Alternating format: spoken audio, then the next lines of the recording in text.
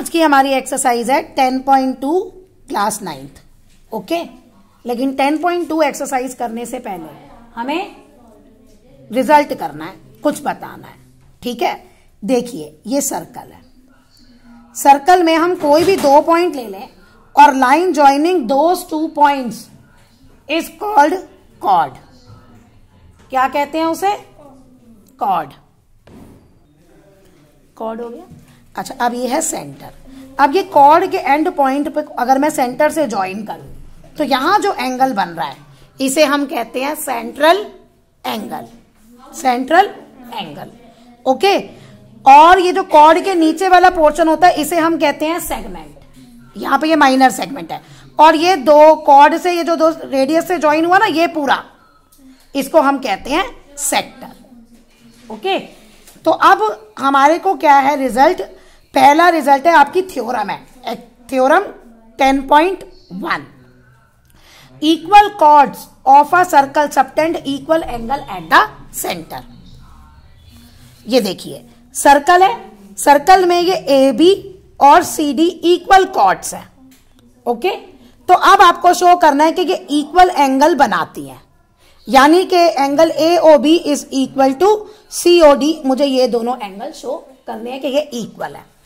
तो आप गिवन में लिखेंगे A B is equal to C D और टू प्रूव में आप लिखेंगे angle A O B is equal to C O D अब हम प्रूफ करते हैं। प्रूफ हमारा यहाँ से शुरू हो रहा है। In triangle A O B and C O D आपको पता है O A is equal to O C radius है सेम सर्कल की इक्वल होगी। एक्चुअली इन दोनों ट्राइंगल्स को हम कॉन्ग्रेंट प्रूव कर रहे हैं। O B is equal to O D और A B is equal to C D ये गिवन है? तो दोनों ट्राइंगल्स आपके एस एस एस से कॉन्ग्रेंट आ गए। Angle one angle this equal to this C P C D हो गया ये क्वेश्चन क्लियर चलिए, अब 10.2 एक्सरसाइज पे आते हैं। देखिए 10.2 में क्या कह रहा है? Two circles are congruent if they have same radius दो सर्कल है, उनकी रेडियस सेम है तो वो कॉन्ग्रेंट है। ओके अब मैं यहाँ पे दो कॉन्ग्रेंट सर्कल ड्रॉ कर रही दो। A B is equal to C D क्यों? क्योंकि ये गिवन है। Prove that equal chord of congruent circle subtend equal angle at the centre अब इसका सेंटर ओ इसका सेंटर ओ डैश ये, ठीक है? अब आपको क्या गिवन है? सर्कल्स कॉन्ग्रेंट है। Circles are means radius same और A B is equal to C D और आपको टू प्रूफ क्या करना है? सेंट्रल एंगल इक्वल है. यानी A O B is equal to C O D मैं इसे one is equal to two ले लेती हूँ. मैं नेमिंग दे दी. तो देखा जाए ये क्वेश्चन और जो आपका ये क्वेश्चन है, ये सेम है? कैसे? ये एक ही सर्कल में थी? ये दो अलग अलग में. लॉजिक वही है. आप क्या लिखोगे? In triangle A O B and triangle C O dash D O A is equal to O C radius are equal O B is equal to O D radius equal A B is equal to C D given triangle S S S से congruent और फिर CP C T अब है आपकी theorem 10.8 if the angle subtended by the chord of a circle at the centre are equal then chords are equal अब इसमें क्या कह रहा है? इसमें कह रहा है कि अगर ये सेंट्रल एंगल इक्वल होंगे तो आपको प्रूव करना है कि कॉर्ड्स भी इक्वल है। यानी जो इस क्वेश्चन में किया था गिवन जो है वो टू प्रूफ बन जाएगा और टू प्रूफ गिवन ओके तो इसमें हम क्या लिखेंगे?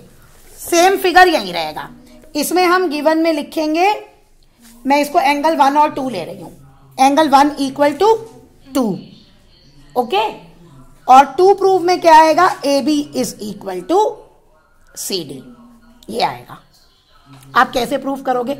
In triangle A O B and C O D O A is equal to O C radii of the radii of circle O B is equal to O D radii of circle अब angle one is equal to angle two given अब triangle किससे congruent हो गए? S A S से triangle S A S से congruent हो गए? तो अब आपका A B is equal to C D C P C T अब देखिए it prove that chord of congruent circles subtend equal angle at the centre then chords are equal अब same वही क्वेश्चन है, लेकिन अब ये दो सर्कल में है। इसमें भी अब क्या गिवन है? वन इक्वल टू टू और प्रूफ क्या करना है? A B is equal to C D same opposite अब दो सर्कल्स में। तो सेम वही इन ट्राइंगल ये O B is equal to O C O B is equal to O D one equal to two S A S triangles congruent तो A B is equal to C D C P C D तो देखा जाए जो आपकी theorems है जो ये है प्रूफ दोनों का सेम है। बस एक में एक ही सर्कल बनेगा थ्योरम में और इसमें दो बनेंगे, लेकिन मतलब वही है रेडियस इक्वल है। अब कुछ रिज़ल्ट है सर्कल चैप्टर के जो हम डिस्कस कर रहे हैं। ठीक है? देखिए, पहला रिज़ल्ट है सर्कल है सर्कल का सेंटर ओ है कॉर्ड ए बी है। अब इस सेंटर से कॉर्ड पे जो मैं परपेंडिकुलर बाइसेक्ट करती हूँ तो वो इस कॉर्ड को बाइसेक्ट करेगा। मतलब ये ओ से मैंने लाइन डाला गिवन क्या है? O C perpendicular to B C O centre होना ज़रूरी है। तो ये कॉर्ड को बाइसेक्ट करेगा मतलब रिज़ल्ट आपके पास आया A C is equal to B C हो गया क्लियर 90 डिग्री का है ये। इसको बाइसेक्ट करेगा।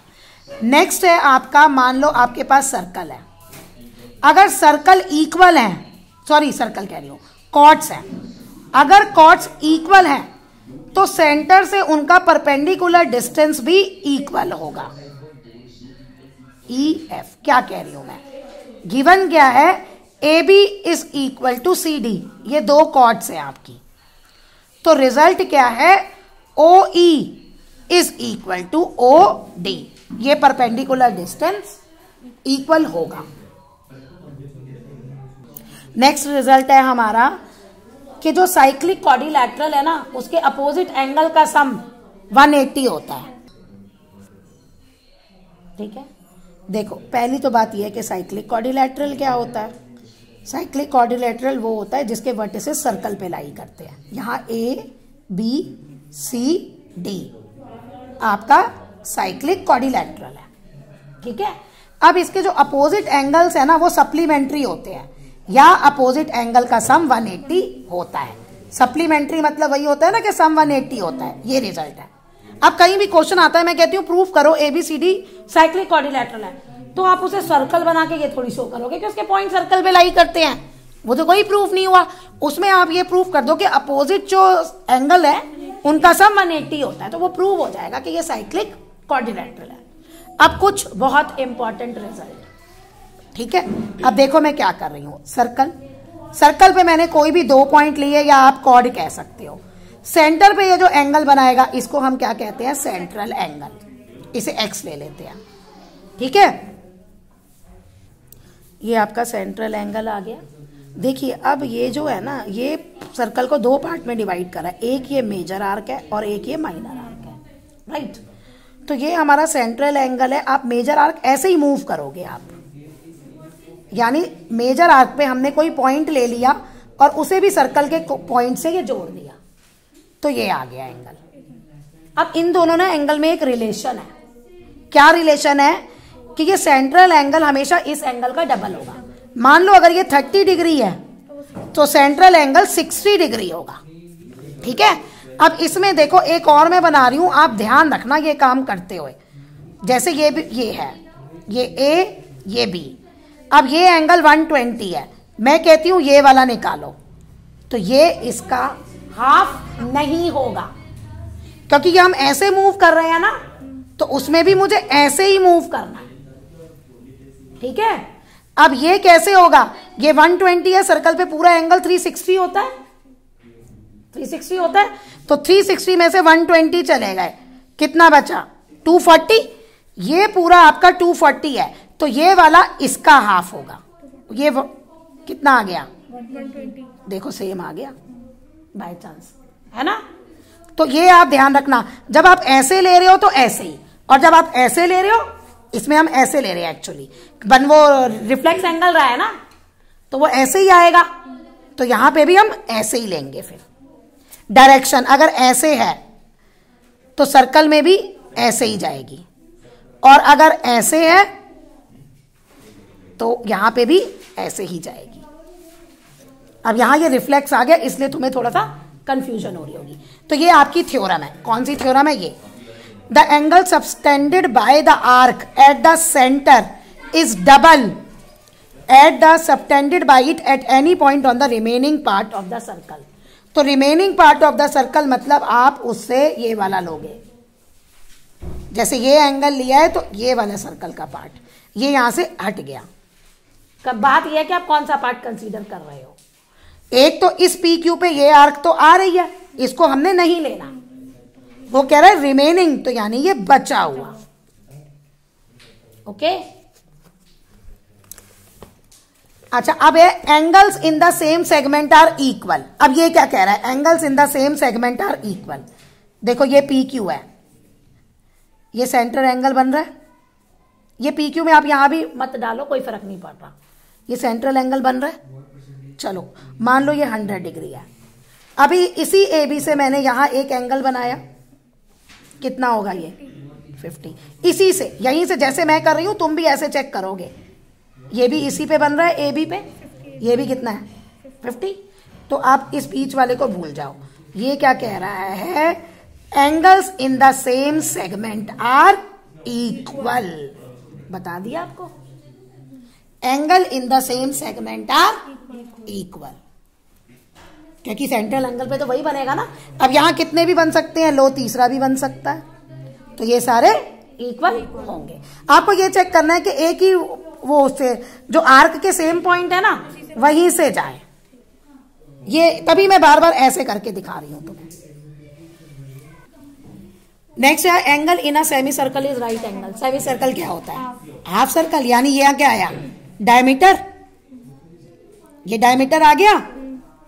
डायमीटर पे लीनियर पेयर होगा। पूरी स्ट्रेट लाइन है ना? तो ये एंगल कितना होगा? 180 अब चलो, इधर बनाओ। ये कितना आ गया? ए 180 का आधा। 90 तो वही कह रहा है। Angle in a semicircle is right angle angle in a semicircle is right angle ये कुछ रिज़ल्ट हैं जो आपको सर्कल चैप्टर करने में मदद करेंगे।